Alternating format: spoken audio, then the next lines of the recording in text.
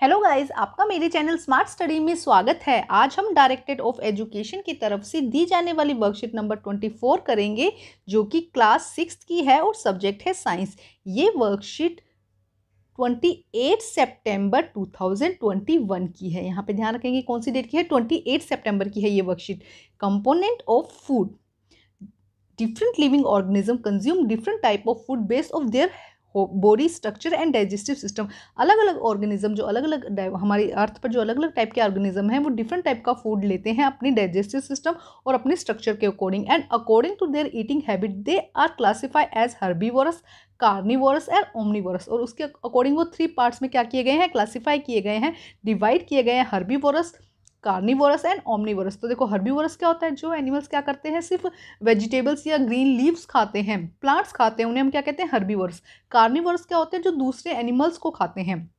और ओमनीवोरस क्या होते हैं? ऐसे एनिमल्स जो प्लांट्स भी खाते हैं और उसके साथ में जो क्या खाते हैं?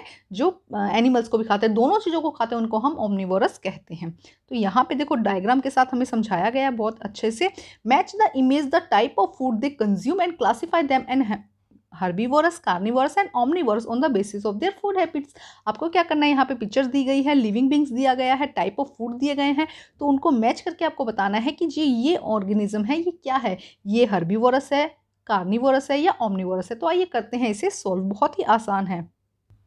तो आइए सबसे पहले देखते हैं, यहाँ पर ये क्या है? मैन। और मैन क्या है? देखो, मैन क्या करते हैं? प्लांट्स भी खाते हैं और क्या खाते हैं? एनिमल्स को भी खाते हैं। तो हम यहाँ लिख सकते हैं प्लांट और एनिमल दोनों को ही ईट करते हैं ना।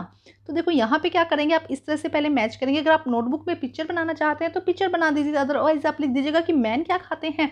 प्लांट और एनिमल खाते हैं। इसलिए उनको क्या कहा जाता है? ओमनीवोरस प्लांट को जो एनिमल, सॉरी, मैन है इन्हें हम क्या कहते हैं? ओमनीवोरस कहते हैं, ठीक है? उसके बाद अगर हम यहाँ पे बात करते हैं, यहाँ पे इस तरह से आरो लगाएँगे आप, इसके बाद देखो ये, यहाँ पे जो हनी भी है, ये क्या खाते हैं? प्लांट्स खाते हैं। ये क्या खाते हैं? प्लांट का जो नेक्टर होता है ना फ्लावर का नेक्टर होता है, वो खाते हैं। तो एक टाइप का प्लांट का मटेरियल खाते हैं। तो इसे हम क्या कहते हैं? हर्बीवोरस इसे क्या कहा जाता है? हर्बीवोरस आप किस तरह से लिखेंगे? इस तरह से मैच करके इसके सामने लिख देंगे। तो जो हनी भी है, वो क्या है? प्लांट खाती है और उसे हम क्या कहते हैं हर्बीवोरस, जबकि जो मैन है वो क्या खाता है? प्लांट और एनिमल दोनों खाता है, इसलिए हम उसे क्या कहते हैं? उसे हम लिख देंगे ओमनीवोरस अब देखते हैं नेक्स्ट आगे क्या कहा गया है। अब देखते हैं हम नेक्स्ट देखो यहाँ पे क्या है? ये क्या है? यहाँ पर चिड़िया स्पैरो है ना? ये क्या खाते हैं यहाँ पे? देखो यहाँ से ये क्या खाएगी? ग्रेन्स खाएगी। है ना, बीज वगैरह होते हैं, वो खाती है। तो ये कैसी हो जाएगी? इसके अलावा देखो, ये जो स्पैरो है, ये क्या करती है? छोटे मोटे इंसेक्ट भी खाती है। क्या खाती है? इंसेक्ट भी हम, है ना? तो इसको क्या कहेंगे? हम ओमनीवोरस ये ध्यान रखेंगे अब जो चिड़िया है, स्पैरो है, ये क्या खाती है? ग्रेन्स खाती है, उसके साथ में क्या खाती है? छोटे छोटे इंसेक्ट्स भी खाती है तो इन्हें हम ओमनीवोरस कहेंगे।